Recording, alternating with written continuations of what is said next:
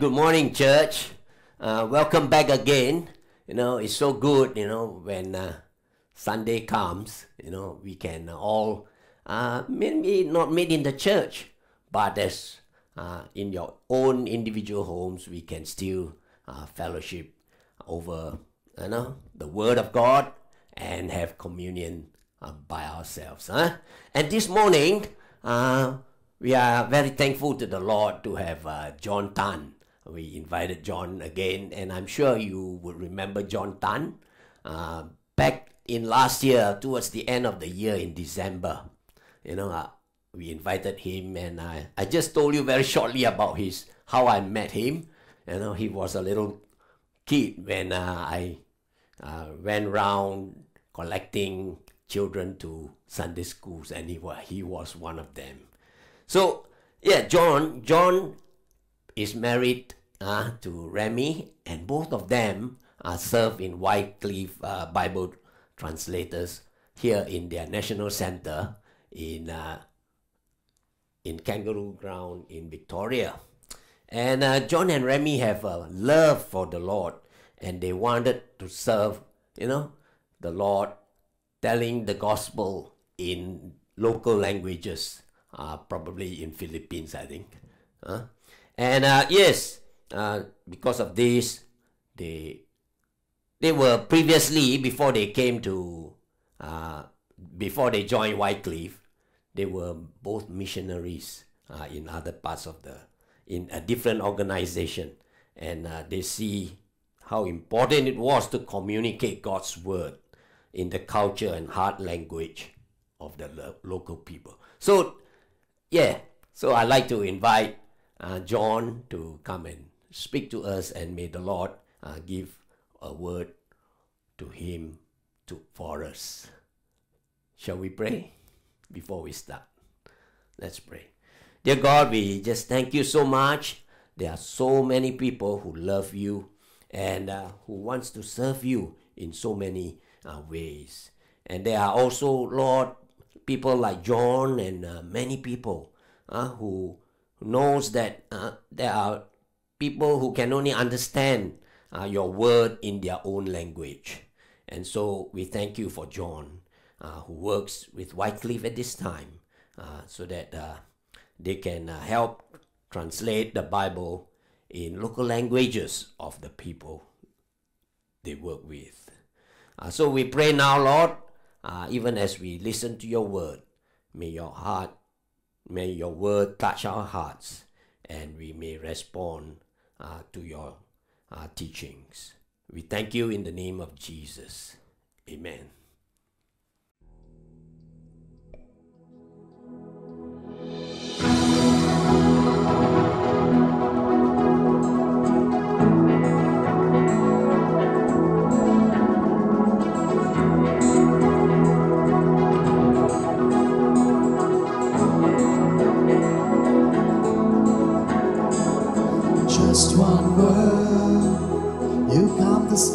Surrounds me.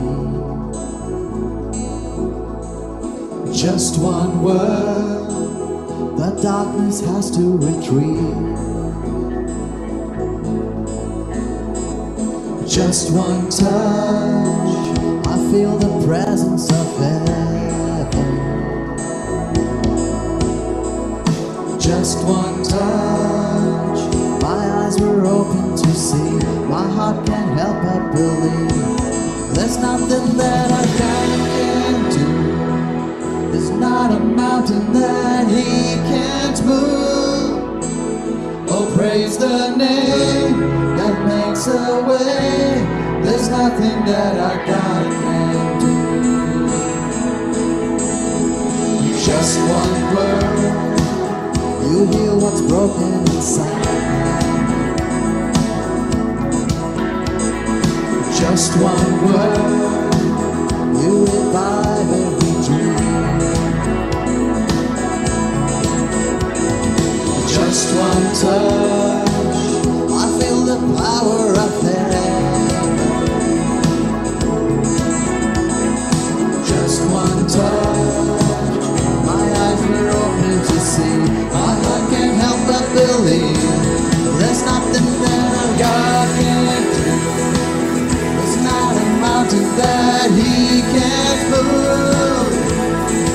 praise the name that makes a way. There's nothing that our God can't do. Oh, there's nothing that our God can't do. There's not a prison wall he can't break through. Oh, praise the name that makes a way. There's nothing that our God can't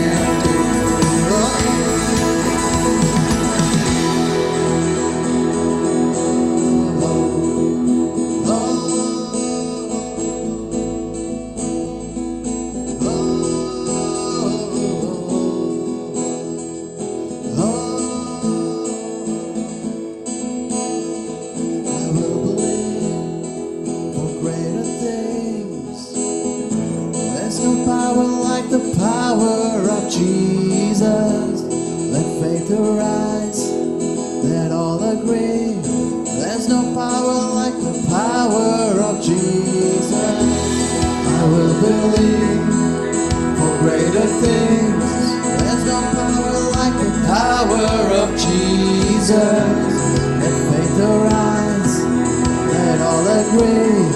There's no power like the power of Jesus. I will believe for greater things. There's no power like the power of Jesus. Let faith arise.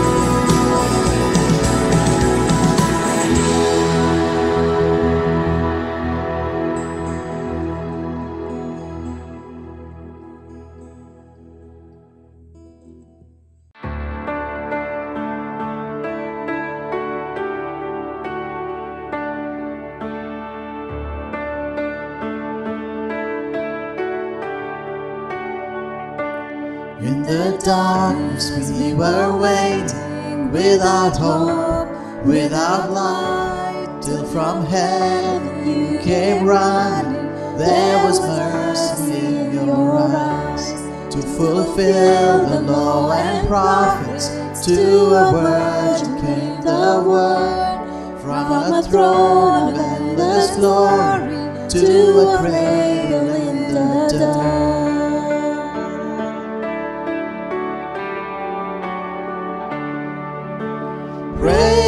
The Father, praise the Son, praise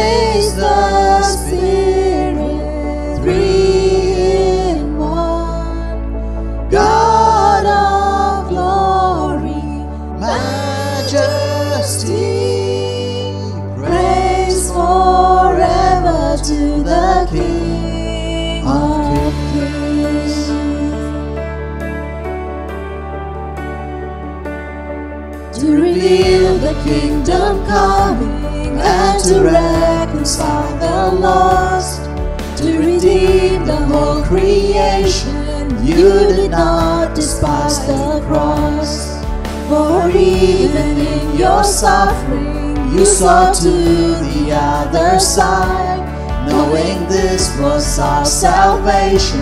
Jesus, for our sake, you died.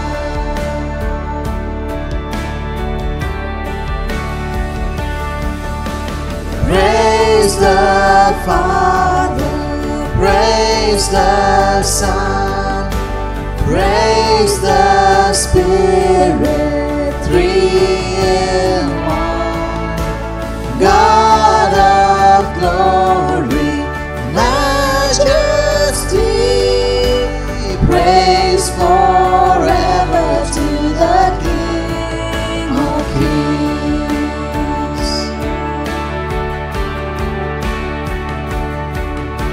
Morning that you rose, all of heaven held its breath, till that stone was moved for good, for the Lamb had conquered death.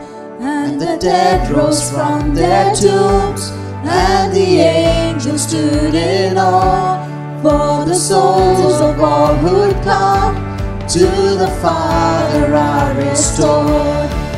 The church of Christ was born, there the Spirit lit the flame. Now this gospel truth of old shall not need, shall not fade. By His blood and in His name, in His freedom I am free. For the love of Jesus Christ, who has resurrected me.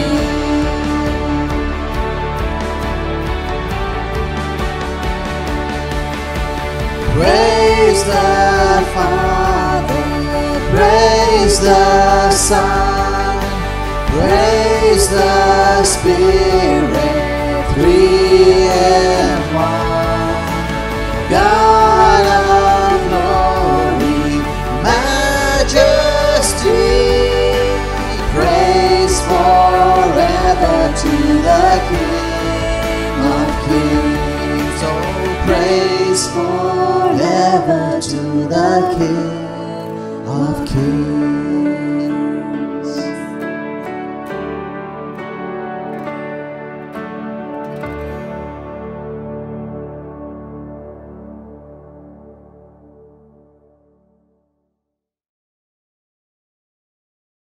closed the door of the bookshop at the beginning of the lockdown, I looked around for anything else I might need and noticed this book. It was the last copy and it had been on the shelf for a long time. So I thought I'd take it home and check it out, see why it had stayed around for so long. But I'm so glad I did. I found it very helpful and have appreciated the beautiful photos as well. There are times when the whole virus thing has been like a desert experience. And I'm reading from this little book called Landscapes of Prayer, and this chapter is headed The Desert. Sand is for sifting. In our desert spaces, we find ourselves confronting our own emptiness in which both our angels and our demons may visit. In the desert, we learn discernment by sifting through our experiences, our memories, our desires, discovering which of them lead to life and which to death. The heat of the desert day leaves us nowhere to hide from ourselves. And the cold of the night reminds us that without the constant flow of grace and divine energy, we cannot exist. It will test us to our limits, reveal our limitations, uncover our weaknesses, and show up our illusions for what they really are. The desert is a place of extremes that can kill us or bring us unexpected joy. A place that may reveal the worst in us and bring the best to birth. As I read this, I could really identify with it. There, that there were times in the lockdown that I felt in a desert place. And then I got to thinking about Jesus. After his baptism and hearing God say how loved and pleased he was with his son, Jesus spent 40 days in the desert, and Satan kept coming up with temptations. but God ministered to Jesus through the angels. Today, God ministers to us through communion to remind us that He has overcome the demons, the negative stuff that Satan tries to make us focus on. He says to us here, right now, remember my love, forgiveness, fullness of life, peace, and purpose that I am offering you. And as we take the bread and drink from the cup, we say, Thank you, Father. God, I accept your gifts with much thanks. I am honoured to be your child, and I am thankful to accept all that you are offering me. And as I take this bread and drink this cup, I do remember and say thank you in Jesus' name.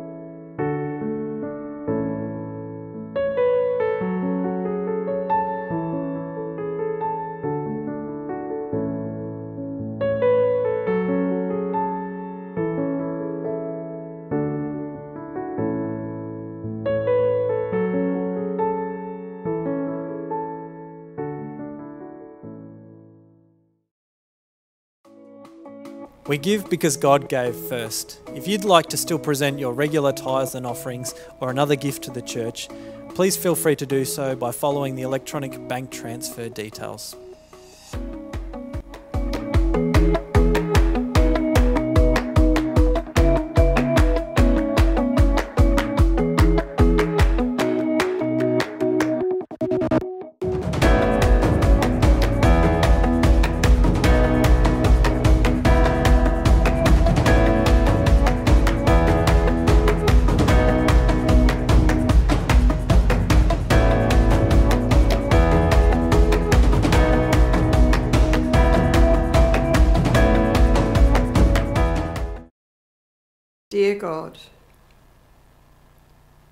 To you and we say thank you for all that you have done.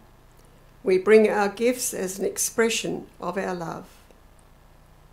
And we pray, flow through me, Holy Spirit, flow through me. Like a river in the desert, flow through me springing power and healing strength, living water pure and clean. Flow through me, Holy Spirit, flow through me. In Jesus' name, Amen.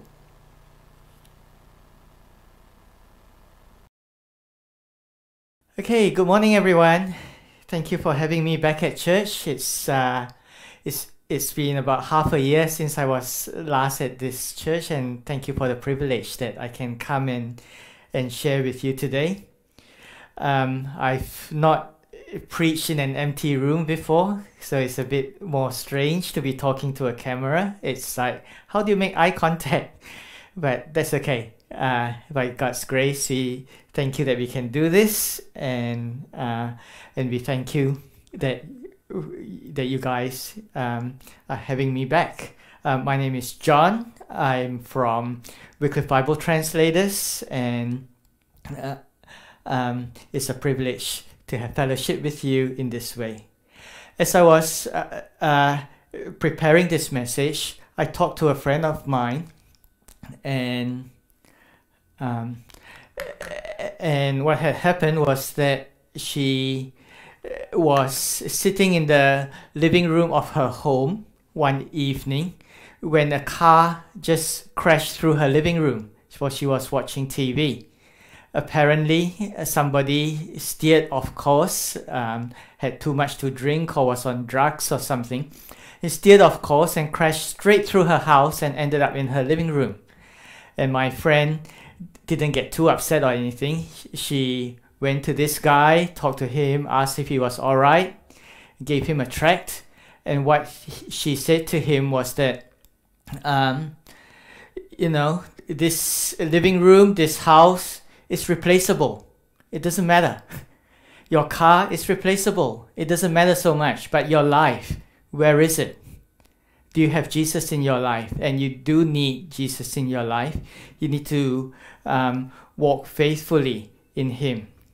And that reminded me of, of this passage uh, that I found in an autograph book that my dad used to have. It's a quote from C.T. Studd. It's only one life, it'll soon be past. Only what's done for Christ will last. Whether you know Jesus or you don't know Jesus, that's what counts. It's your life and your life in Jesus. That's really what counts.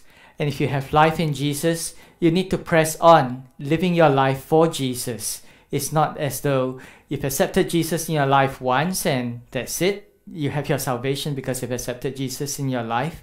But that your life doesn't stop at that point. You need to carry on and you need to press on. So for the, our passage today, I will read from Hebrews chapter 10, verse 19 to 36. And the passage says that, Therefore, brothers and sisters, since we have confidence to enter the most holy place by the blood of Jesus, by a new and living way open for us through the curtain, that is his body, and since we have a great priest over the house of God, let us draw near to God with a sincere heart and with full assurance that faith brings, having our hearts sprinkled to cleanse us from a guilty conscience, and having our bodies washed with pure water. Let us hold unswervingly to the hope we profess, for he who promised is faithful. And let us consider how we may spur one another towards love and good deeds, not giving up meeting together as some are in the habit of doing, but encourage one another, and all the more as you see the day approaching. If we deliberately keep on sinning after we have received the truth, no sacrifice of sin is left, but only a fearful expectation of judgment and of raging fire that will consume the enemies of God. Anyone who rejects the law of Moses died without mercy on the testimony of two or three witnesses. How much more severely do you think someone who deserves to be punished, who has trampled the Son of God underfoot, and who has treated an unholy thing, that the blood of the covenant has sanctified them, and who has insulted the Spirit of God? For we know him who said, It is mine to avenge, I will repay. And again, the God the Lord will judge his people. It is a dreadful thing to fall into the hands of the living God. Remember uh, those early days after you have suffered. Sorry, remember those early days after you've received the light when you endured a great conflict full of suffering. Sometimes you were publicly exposed to insult and persecution.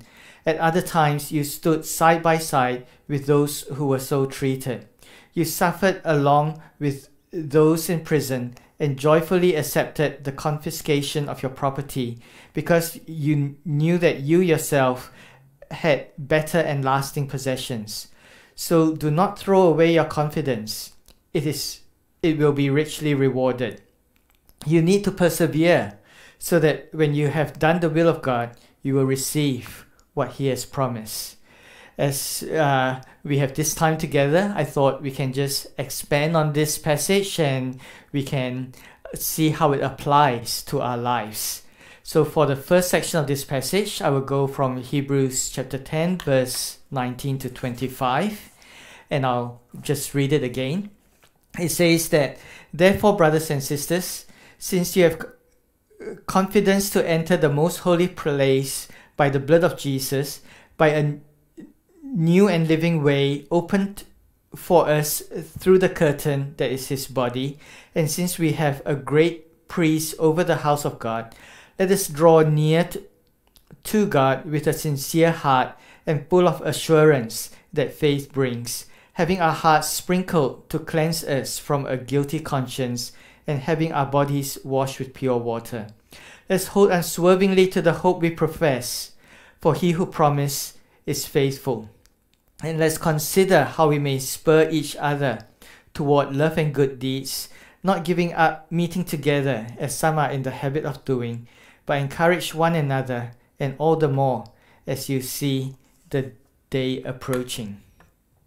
So why? Why do we should we persevere? Why should we press on in our faith? There's so many elements around us. At the time when Paul wrote this, there was a lot of persecution for the church.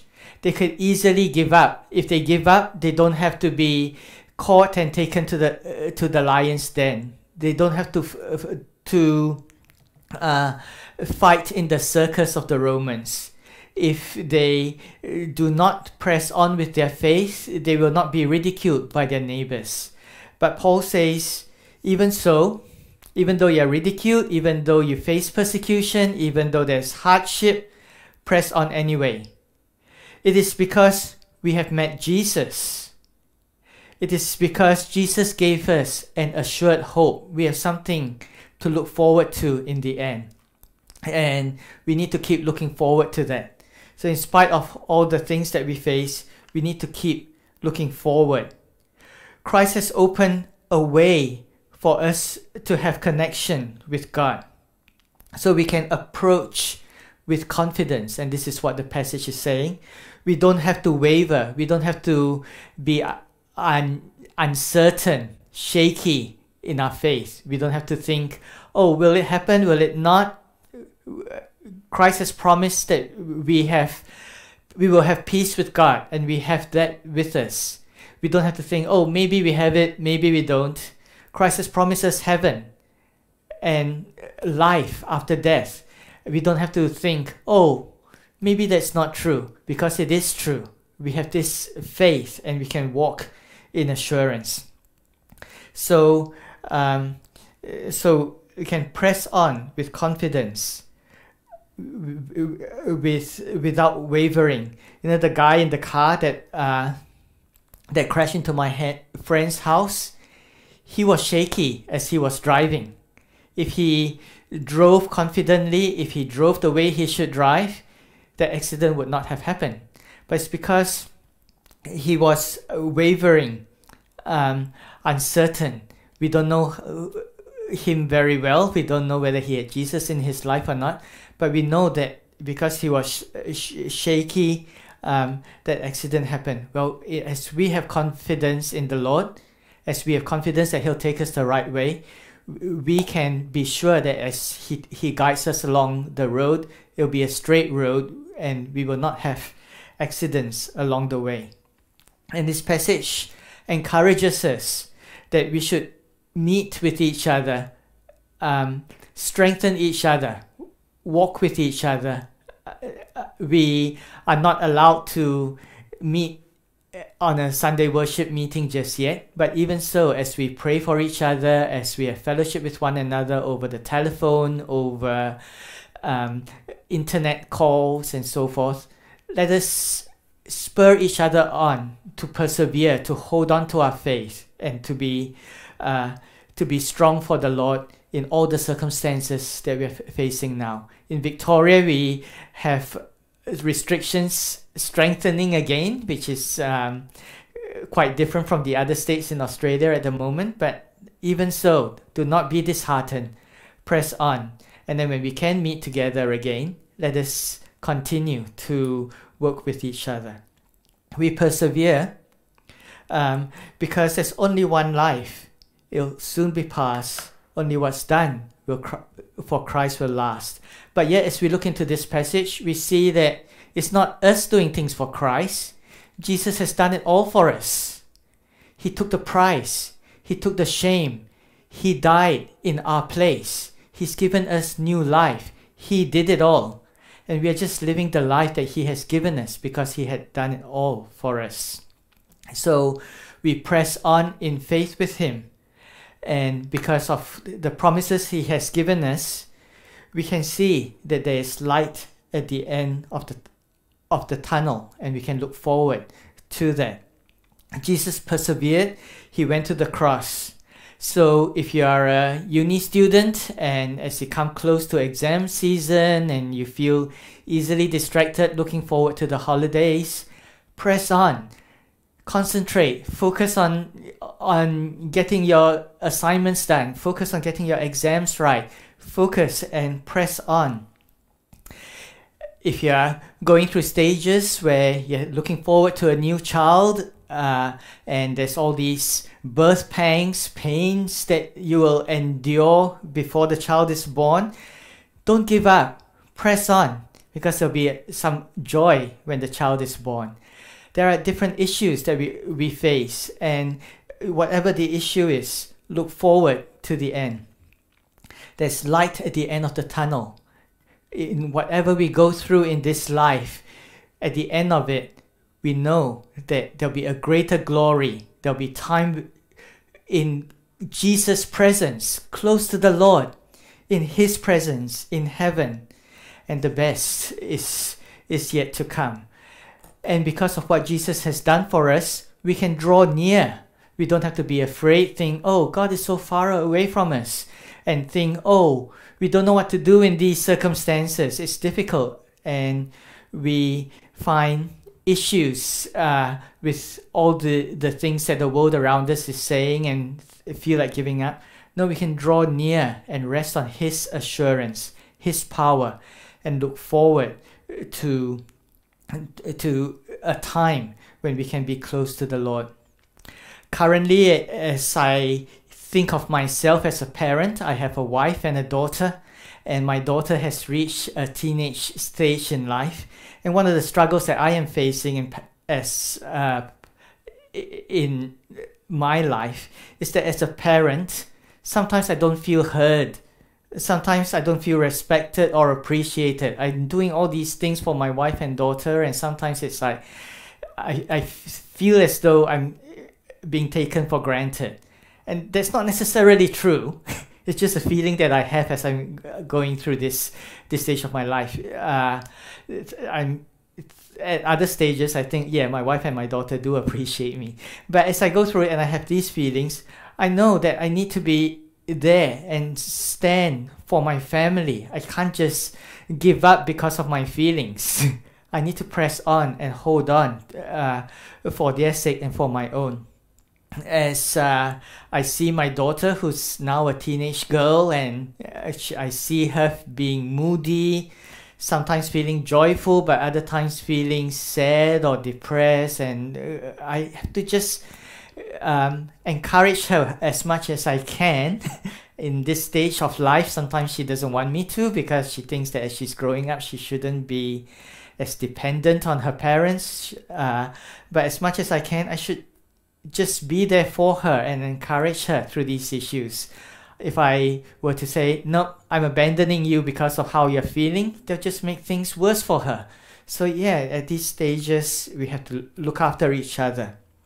Uh, as I think about the challenges that she's facing in school, as her friends talk to her about various issues in life, the music she listens to, the stuff she sees on social media, the books that she reads and what her friends tell her and all, I wonder, we've sown seeds of Christian faith in her life from the time that she was a child. Will she hold on? Or will at some stage will she give up? And as I'm encouraging you to hold on, I'm also trying to encourage my daughter to hold on. But I don't know what's going to happen in, in her life. I don't know what's going to happen in yours. But we need to hold on. And I need to you know keep encouraging my daughter even though sometimes um, things are happening and we know we can fall into temptation. She, my daughter can i can you can.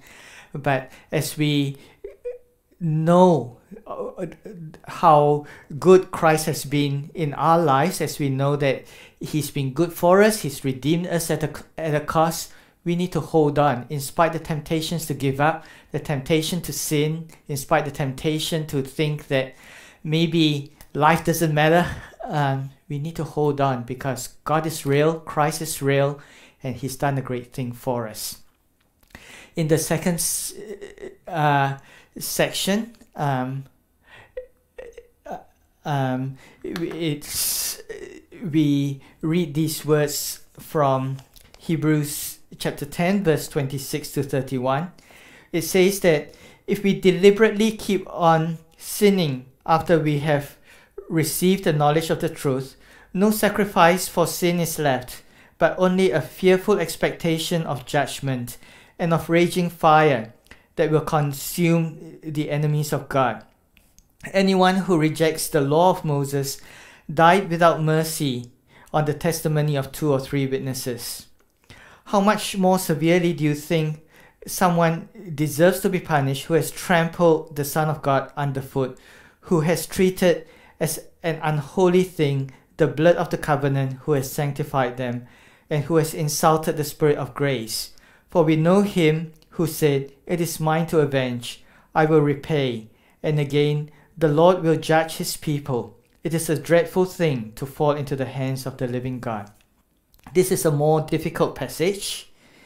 It says that it starts by saying that if we deliberately keep on sinning after we have received knowledge of the truth, then what else is there? And uh, as we explore this theology, we come up to all these tricky questions about uh, Christ's sacrifice. It's once for all, but is there such thing as an unpardonable sin? And what happens if we sin after we have come to know Jesus? Well, we can rest assured that um, what Christ has done is something that will last. What this passage is on about is do not sin deliberately, because what Christ has done, we need to take that seriously. There's a lot of theology, and if we were to expand on this, we can read many books and all that, and I'm not going to cover all that in this short time. But I just get to the main point that this this section of, of the passage is on about. And the main point is don't treat your sin lightly. We all sin, but because Christ paid for your sin with his life, don't treat it lightly. Be serious about it. There's a, a tweet that I saw um, as I'm on Twitter occasionally. It says that there was a time when people went to church, heard the truth, and wept for their sins. Today, people go to church, hear a motivational speech, and ignore their sins. Uh, that's not what the gospel is about. the gospel is not about hearing a motivational speech and ignoring your sin. It's saying that the gospel is about taking it seriously. Christ died for it, He paid for your sin with His life. How much more serious can that be? God would send His Son to die in your place, take, bear the punishment so that you don't have to do it yourself because you cannot do it, do it yourself. How much more serious can that be? So, no turning back, no saying, I'll give up. Persevere, press on.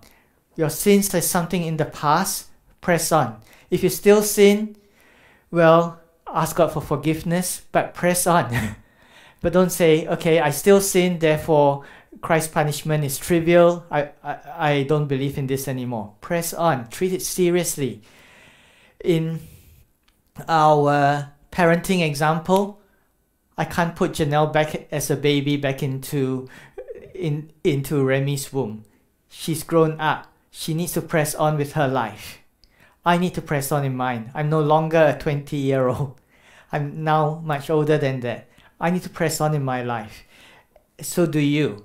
In whatever the situation is, we have to press on, holding on tightly in assurance that what Christ has done, it will last and he he means to take it take us to the end and we need to press on, persevere. Lots of temptations, trials, hardships will come our way, and not just us, but also our family and our family in the spiritual sense, the church as well. But together, we need to help each other keep on going. Um, whatever comes that could tempt us to give up, press on in spite of that and keep going. So we get to the last section that we'll look at this morning uh, now, and it's the passage from verse 32 to 36. It says, Remember those early days after you have received the light when you endured in a great conflict of suffering, something that you were publicly exposed to insult and persecution. At other times, you stood side by side with those who were so treated. You suffered along with those in prison and joyfully accepted the confiscation of your property because you knew that you yourself had better and lasting possessions. So do not throw away your confidence. It will be richly rewarded. You need to persevere so that when you have done the will of God, you will receive what He has promised. So, this is a conclusion to this section of the passage. is saying, endure suffering. The church has, that this book uh, was written to, the church was going through a lot of suffering. You can see in this passage, they had their property confiscated. The government said, you cannot have your house anymore. You cannot have this anymore. You need to go to the circus and, and get eaten by lions. They were going through a lot of suffering. But yet in the, in the suffering, they know that they have something better that will replace uh, the houses or money or whatever else that is going to be confiscated. They know that they have this assurance of a life after death that they can look forward to. There's light at the end of the tunnel for them. I think the the troubles, persecutions that we are facing here in Australia is quite mild compared to what the church went through then. So if they can do it, so can we. So remember that these people who have held on to their faith so that we can have faith, if they could press on for Jesus, so can we. They were treated badly, but they endured with confidence and they have trials. Uh, and they said, do not throw away this confidence. You have to persevere. So, and by doing the will of God, you will receive what He has promised. If you have received the light, don't forget about it. Don't say, no, there is no more light. The light is real and He takes us through it and we have something to look forward to. At the end of this time of lockdown, we will be able to come back together. We will be able to have fellowship with each other, and we will be able to see each other again. And there is something beautiful. Yesterday I was at a funeral of of the daughter of a, a good friend of mine, and because she knows Jesus, my good friend knows that he will see his daughter again. So even though she, uh, she died in a car accident, um, he can press on in his life, knowing that he has hope and life, and so has his his, his daughter. There's this, this story that um, I'd like to share with you. It's about this little girl, and as this little girl walked past a certain temple, uh, she would see this guy, and this guy would be, come out and clean a little statue in front of the of the temple each day. And this little girl, in a innocent, naive kind of way, he asked the guy, "Oh, why are you cleaning that? Is your God dirty?" And then the guy um, would feel a bit upset, chase her away, and the next day something similar will happen. Oh, is your God dirty again? Uh, is that why you're cleaning it? Uh, and again, he would get upset, chase her away, and on and on. This happened, and then the uh, and then the girl said, "You know what?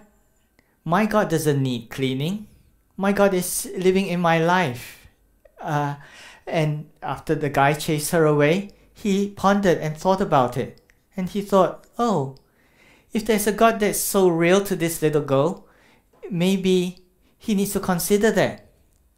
And as he considered that, um, he decided to have Jesus in his life as well.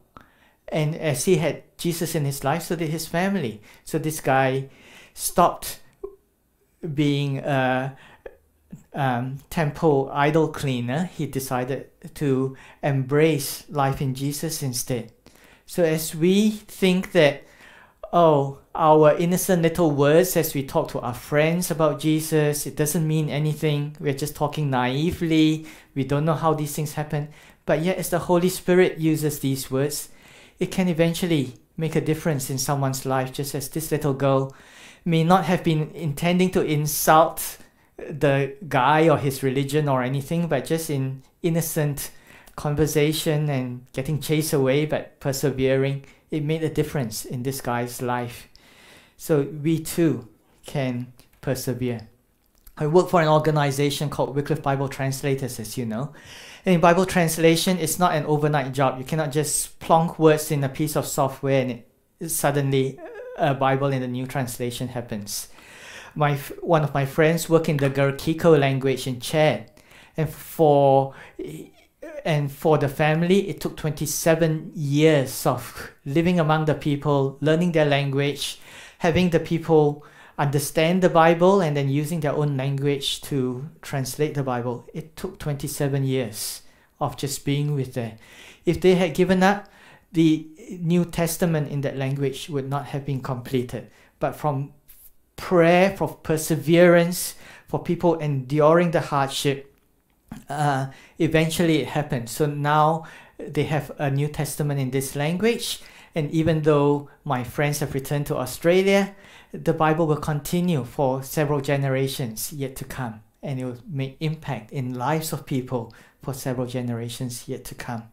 As we press on in life, we know that these things will, are beautiful in, in God's hands. We don't know how it will be, but we are told to persevere, to press on.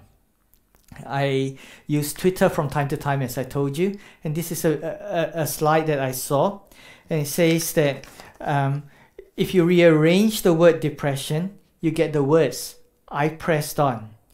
Your current situation is not your final um, your, your current situation is not your your final consequence. So press on hold on to your faith. Live it as Jesus would have you live it. Only one life, it'll soon be past. Only what's done for Christ will last. So treat the life that God has given you in, in sacredness uh, and trust in Him how it will be brought to fruition and press on regardless of your current situation.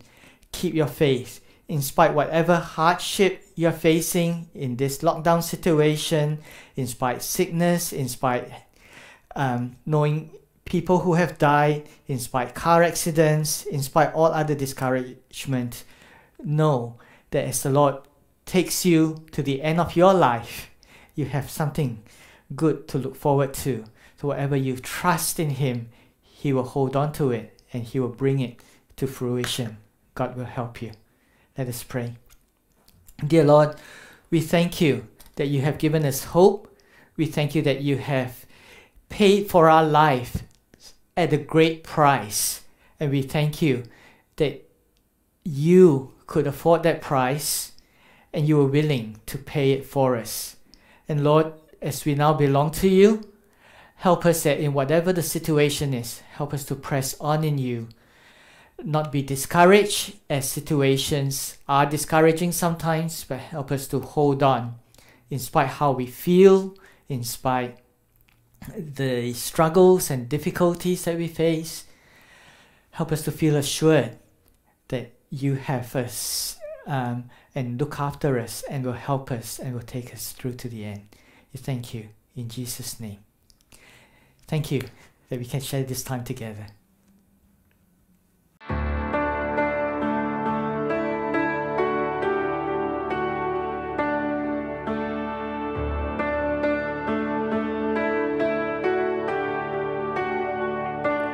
In the darkness we were waiting without hope without light, till from heaven you came running.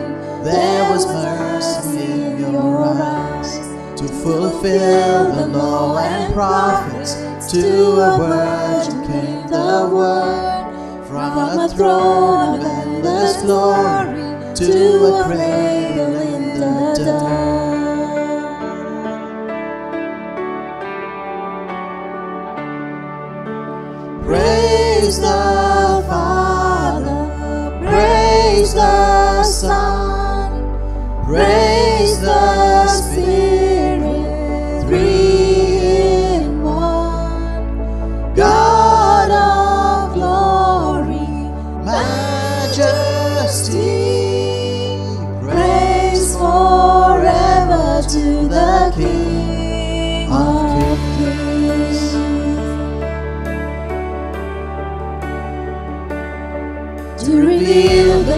Kingdom coming and to reconcile the lost, to redeem the whole creation. You did not despise the cross, for even in your suffering, you saw to the other side, knowing this was our salvation.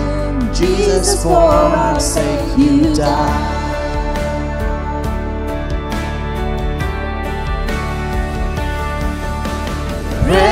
Praise the Father, praise the Son, praise the Spirit, three in one. God of glory,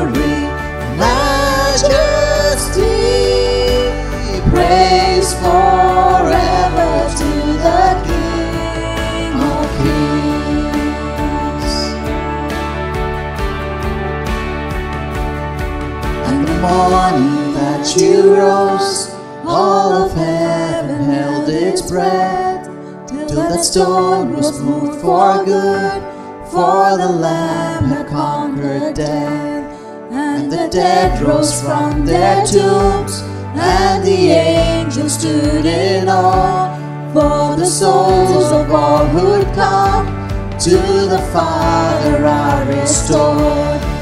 The church of Christ was born. Then the Spirit lit the flame. Now this gospel truth of old shall not need, shall not fade. By His blood and in His name, in His freedom I am free. For the love of Jesus Christ, who has resurrected me.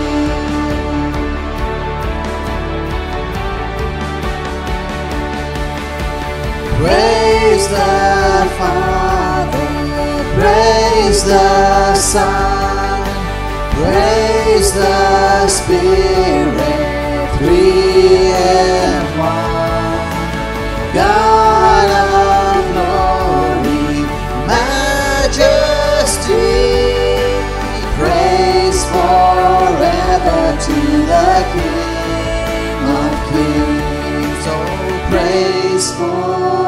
to the King of Kings.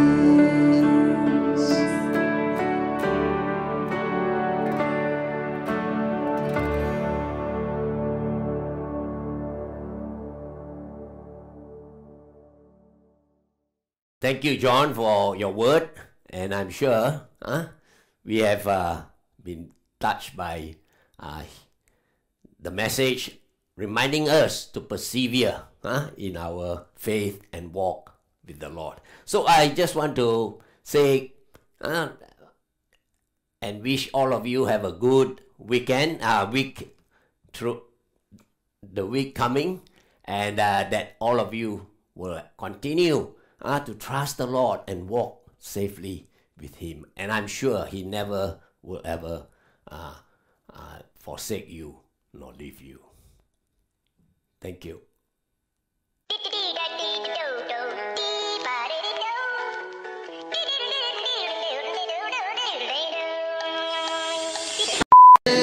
One who is strong and mighty, freedom.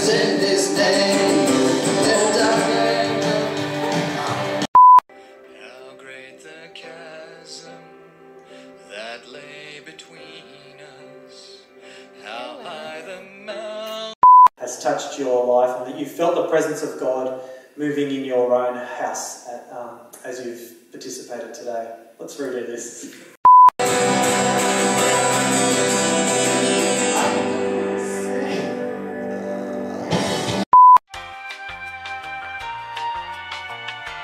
Sixty thousand of them, and gave them tools to clean. No, I, I will have to redo this. Sorry. Okay.